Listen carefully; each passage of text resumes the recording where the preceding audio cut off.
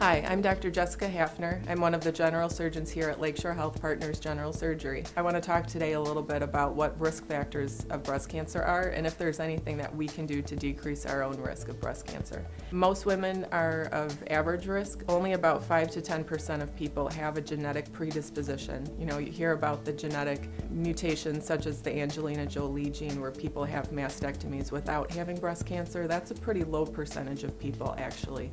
Most people are sporadic, where the breast cancer happens for the luck of the draw. One in nine women develop breast cancer in their lifetime, which is pretty high. Things that can decrease your risk is physical activity. So walking about four to five times a week, half an hour to an hour every time, decreases the risk of breast cancer. Decreasing your use of alcohol also will decrease your risk. So less than one drink a day for most women is recommended.